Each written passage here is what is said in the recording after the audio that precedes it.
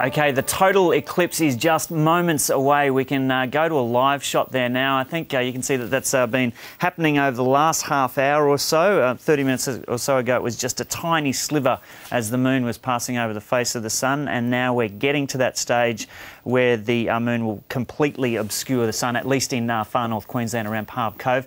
We've got our resident astronom astronom astronomical wonder, Dr. Charley Lineweaver, lined up in Canberra. He's from the Australian National University School of Earth Sciences. Dr. Charley Lineweaver, are you excited?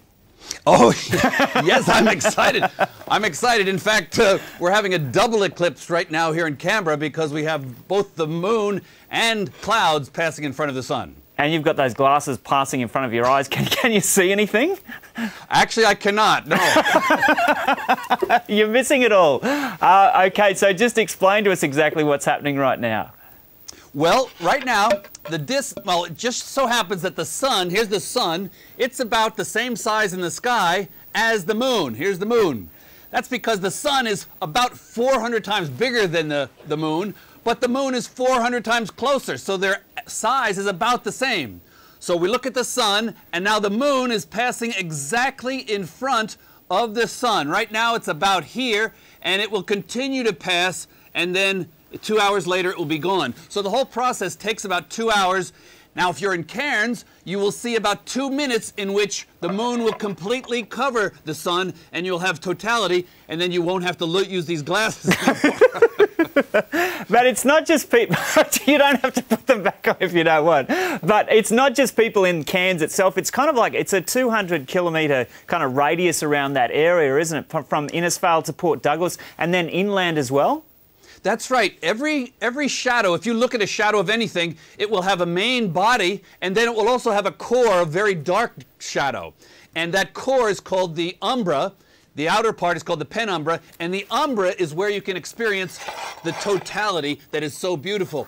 The, the, partial eclipses are not so spectacular because we're used to having clouds get in the way of the sun and reduce the sun's luminosity. But we are not used, the clouds will never block out 100% or a large fraction of the, the sun. And so that's why totality is so spectacular and it's so interesting to see. Does that make you an umbrophile? A, a what a file? and I can't believe you don't know what it is. It's a lover of shadows. Oh, an umbrophile, yes. Uh, actually, I'm, I'm in deep shadow right now, and uh, I would rather be in light, I think. Okay, now I've heard that the temperature can drop quite dramatically when this happens. Well, if you walk on a day, on a sunny day, and walk behind, into the shade of a tree, the temperature drops there as well, so the same effect. Yep. And uh, animals go a bit funny? Well, um, if it let now now uh, total eclipses can last. They're short ones two minutes, longer ones five minutes, the longest ones can last for seven minutes. So I'm not quite sure how long it takes to convince a bird to go to sleep. Maybe it's not, maybe it's not, five minutes isn't long enough. Yeah. Now, if you're in the Cairns region, you'll be seeing this total eclipse, and I'll just uh, mention to our viewers once again that we've got Charley Lineweaver in Canberra with his uh, safety glasses on uh, in, in a studio, nowhere near the eclipse. And on the right there, you can see that uh, that's a live shot you can see there from Palm Cove. Those amazing shots there of the uh, moon moving across the face of the sun. We're just about to that stage where there is going to be the total eclipse. The cameraman just pulling out to a wider shot there. That's now a NASA, NASA shot. NASA's got several cameras set up around the uh, North Queensland area to cover this. Palm Cove seems to be the epicentre of the action. That's about uh, 10 or 15 k's or so north of Cairns. We've uh, got uh, Charley Lineweaver uh, from the ANU that we're speaking to as this happens. Uh, Charley Lineweaver, um, you mentioned that the, the, temperature can drop a bit. Um, animals can go a little bit crazy. I've heard the winds pick up as well. Does that happen? Well, possibly a little bit. I mean, anytime you have a temperature gradient, hot spots and cool spots, then you have a flow from the hot to the cool. And I mean, that's what makes weather on Earth. That's what makes the winds blow on Earth. So you could have some very micro weather, I think.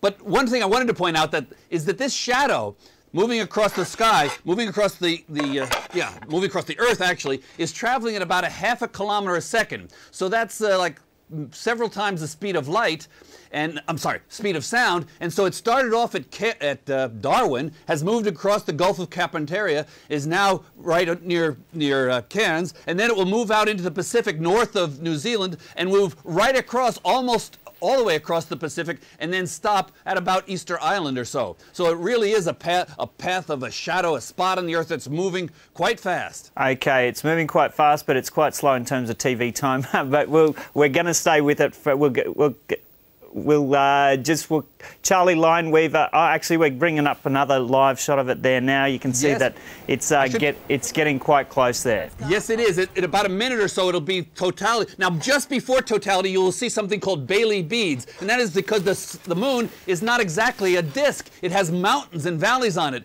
and when it's covering, the moon is covering the sun almost completely. You can still see light coming through to us through from the sun in through the valleys of the moon. And uh, that's something called Baily's beads, and it's interesting. A few seconds just before totality. Wow, and you can hear the cheers of the crowd. We might just try and listen to some of this audio. You can hear the cheers of the crowd there. That, pump, pump, that wasn't the total eclipse, that was just the camera.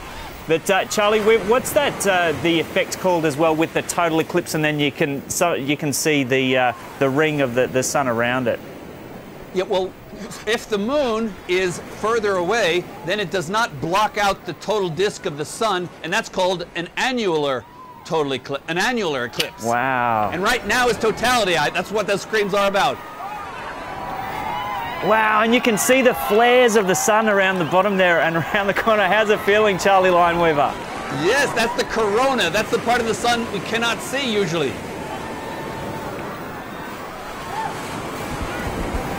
Well, there we go. A total eclipse of the sun right now, and this this event doesn't happen that often, Charley Lineweaver. Well, well, it happens about once a year somewhere on Earth, but because the path of totality is so small, it's very rare that it happens in any one place. And if it's not only people in uh, Cairns who can see this happening now, it's uh, people around other parts of Australia can look up as well if you've got the safety glasses. And there is there'll be a like partial eclipse in other areas of Australia. Well, there are alternatives to safety glasses. One is to get into some mottled shade. If you're if the sun is shining and you have some leaves in the foliage above you, you see little circles on the pavement, and those little circles are the sun, and you should see the moon taking a bite out of the sun. So you'll see like look like the actually half moon or a quarter moon. Yeah, and uh, the old pinhole projector too. You would have made a few. you, you would have made a few pinhole projectors in your day. Yes, as a matter of fact, the simplest pinhole camera is to just get your fingers like this and make a small hole and then hold it up and then see the image of the sun through on the pavement below. Wow, so that just if you're joining us, these are live shots you can see. Uh, day has become night. These sh- the shots are falling in and out because the, the links aren't that stable at the moment there to Can in Cairns right now. But yeah, day has become night in Cairns as the moon moves across the path of the sun. And uh, Charley Lineweaver, just explain to us once again about the size. It's, uh, it's the moon is 400 times smaller than the sun. Yes, the moon is 400 times smaller, but it's 400 times closer, and therefore in the sky they appear about the same size.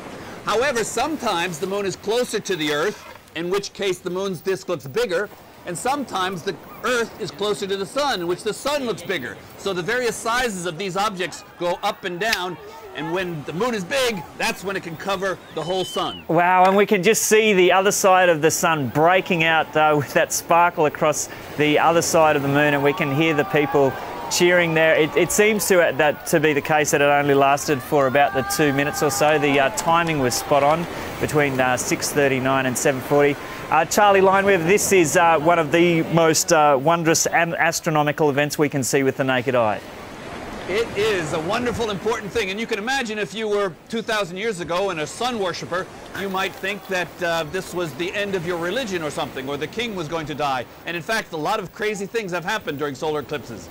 Yeah, you can see the uh, people gathered there on uh, the beach of uh, Palm Cove, just to the north of Cairns. There was a lot of concern that maybe the cloud was going to obscure that event today, but uh, they have uh, been very lucky to see this uh, total eclipse of the sun, and it, se- it seems to be the case. We got one shot there briefly of just just how dark it was when this happened.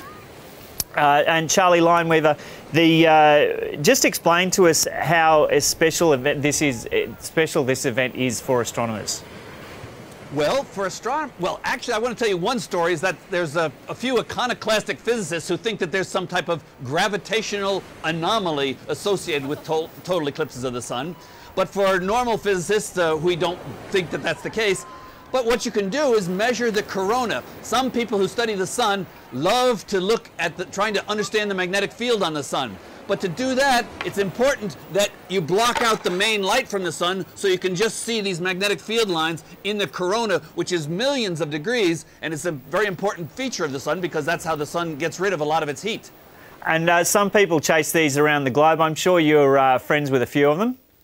Well, I have quite a few friends, matter of fact, uh, yes, quite a few colleagues who are up in Cairns right now, having just seen a two, little over two minutes of a total eclipse of the sun. I can't That's believe you're not there yourself. Can't the what? What's why are you stuck in the studio in Canberra?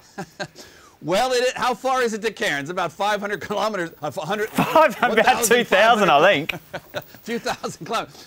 Well, I, I just got back from the U.S. and I didn't hadn't planned, and uh, ABC TV asked me to be here, so I said, well, it's either one or the other. well. Well, uh, we're very happy uh, you've been with us uh, to talk us through this uh, wondrous event with this uh, the moon passing across the face of the sun, uh, this solar eclipse. thanks so much for being with us, Charley Lineweaver in Canberra, and thanks for wearing those safety glasses.